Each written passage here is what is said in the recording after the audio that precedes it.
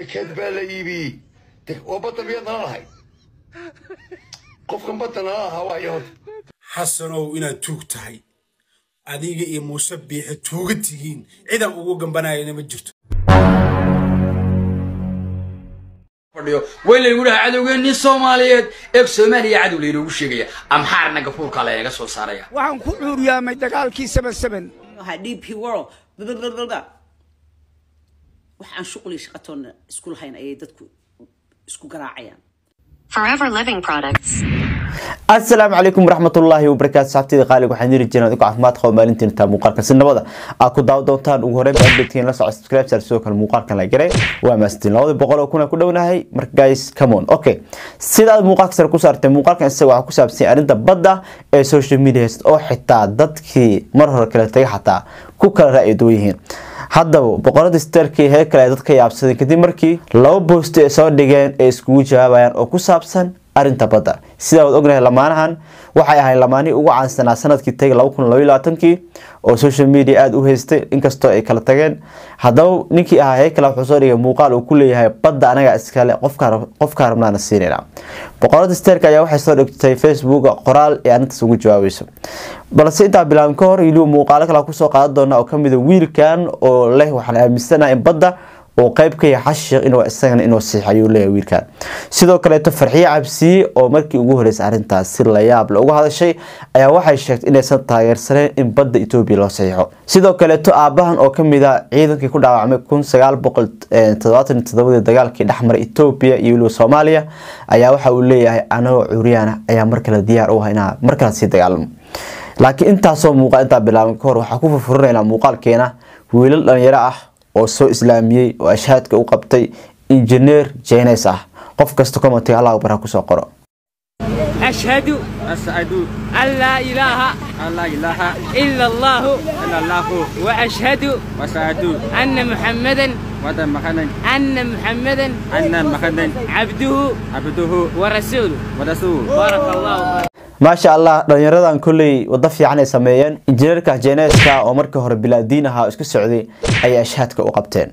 Taasina muuqaalka ku furfurinayna maadaama muuqaal walba wax kheyr lagu furfuro bal iminkan a muuqaalada kaleeto. Ninkii heykal ahaa ayaa boqorada steerka waxay isku mariyeen hawada jawaab maadaama ay mar hor kala tageen haddana badii ku kala ra'yi duwan yihiin heykal saa ogtihiin waa nin somalilander ah boqorada steerkana gabar koonfur ka soo jeeda waaye. Waxa uu soo dhigay tiktokiisa muuqaalkan oo ku muujinayo in badda somalilan ay leedahay qofka ee rabtan ay sii karto. Deked baa la iibiyey. Oo badda miyaad nala lahay. Qofkan badda nala lahaa waayo war badda miyaan dad lahayn? Yaad ku ogeyd badda hooyadaa baajuunta ka wasee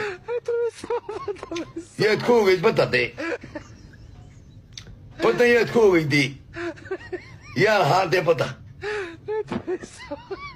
Badda xamar baanu lagu iibinay mise waxaanu iibinay? Baddii in boosaaso ma daawan karaysaa wax ma iska daawan kartaa weligaa filim ma iska daawatay socda.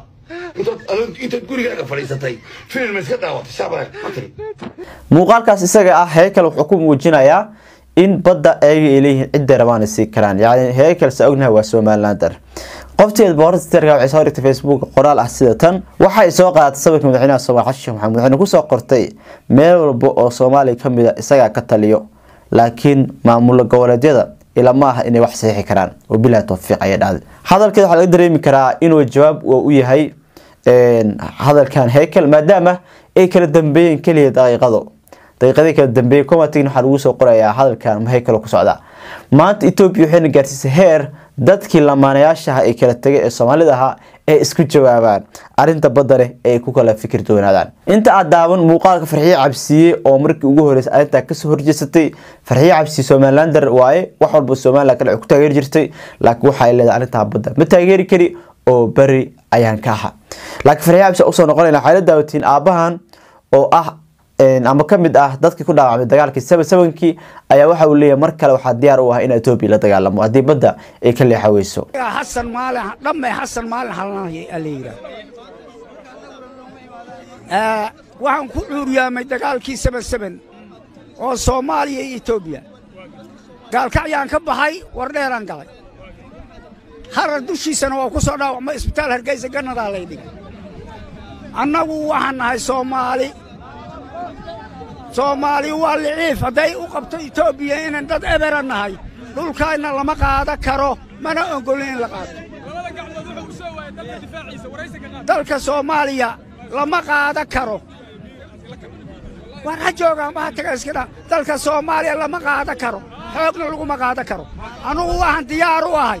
Anoo nuucaasa dagaalka soomaaliya etoobiya haddii la kari waayo inaan galo ugu horreeyo. Waa gartay ee horaa dagaalka etoobiya u soo gashay ka warran bal xasuustaada maanta iyo maalintii anugu maalinkaan dhaawacmaayo wiil yaroo labaatan iyo shan sanno jiraan ah haddana toddobaatan dheeraadaan jiraa waxaannu rabaa dalka soomaaliya inaan lagu qaadan baryanti.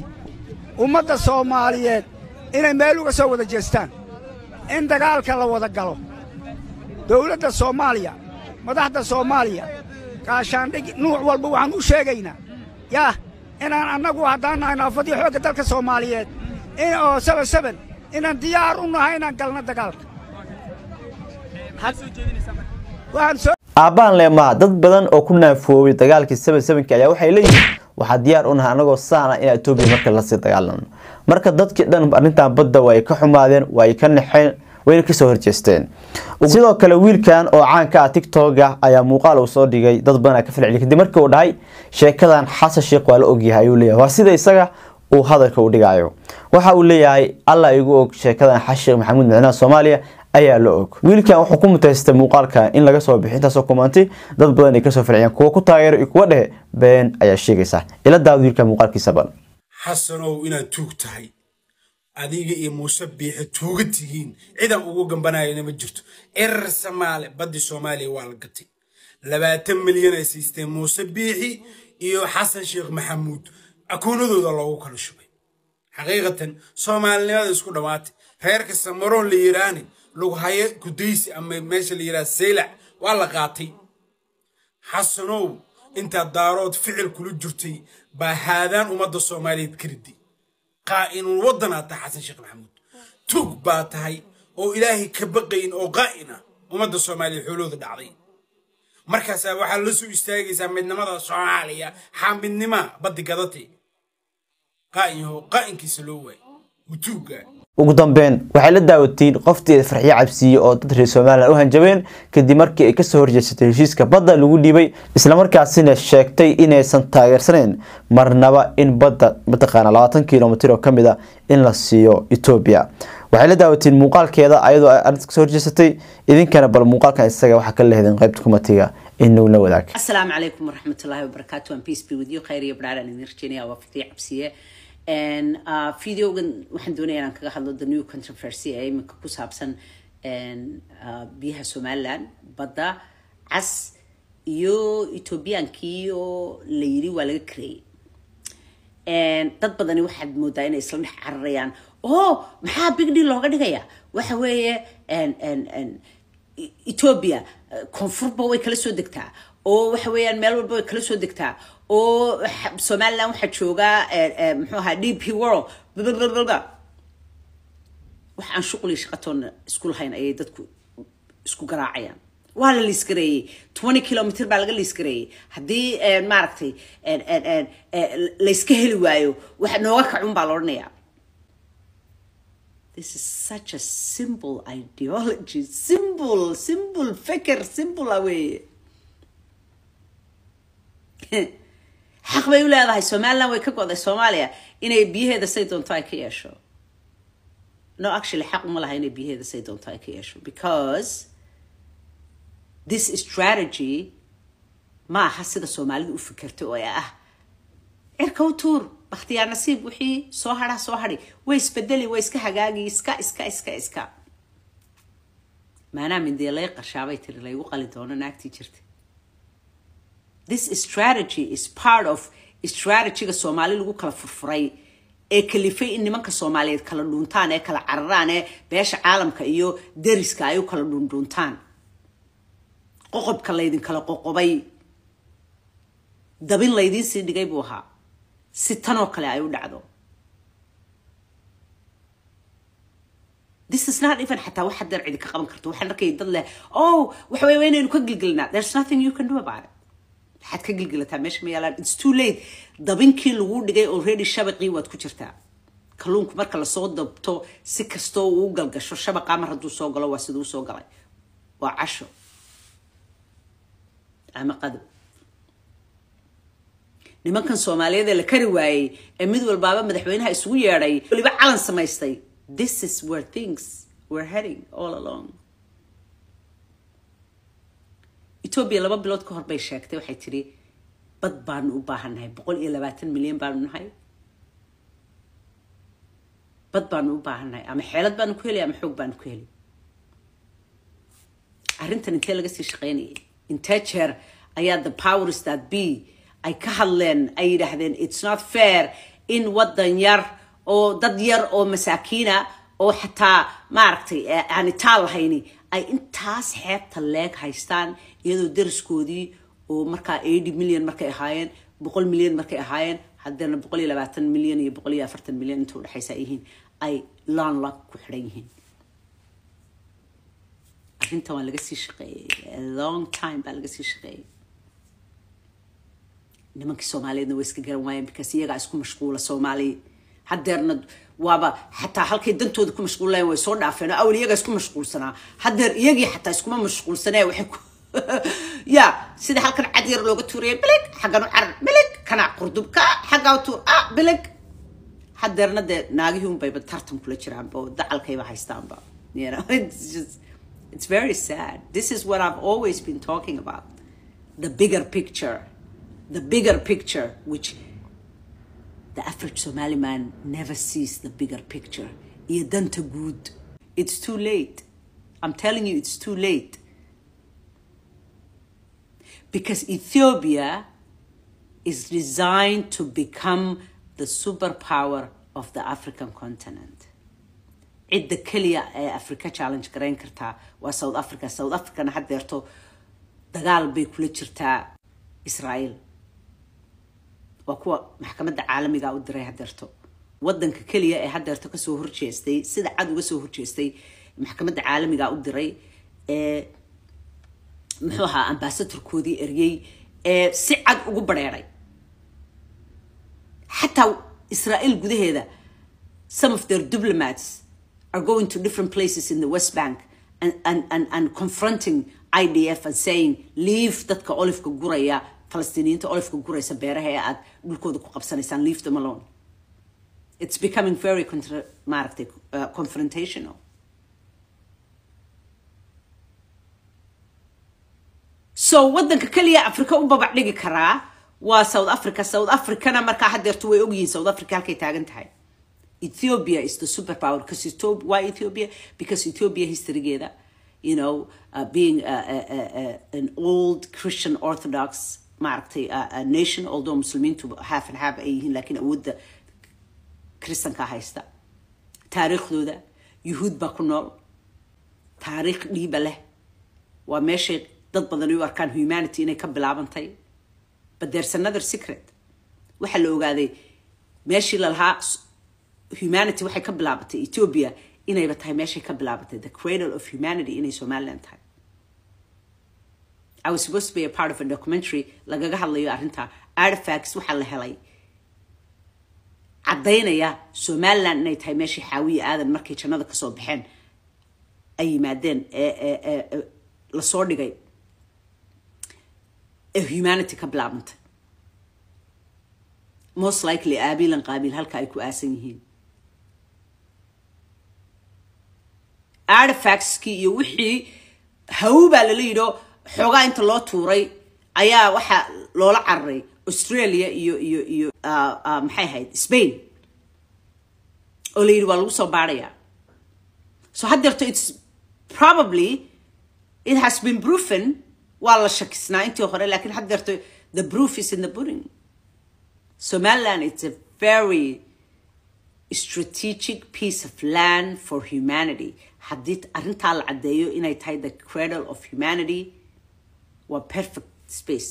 Isku qoofalan waa in gacanta lagu dhigaa. Adduunkii waxa weeyaan survival of the fittest baa soo socota. Africa is the place loo eegayo sustainability the next fifty years. Everywhere else in the world waxay noqotay depleted. Boob cad baa jira. Diblomacy iyo waxaa dad baa maya diblomacy baa shaqe no!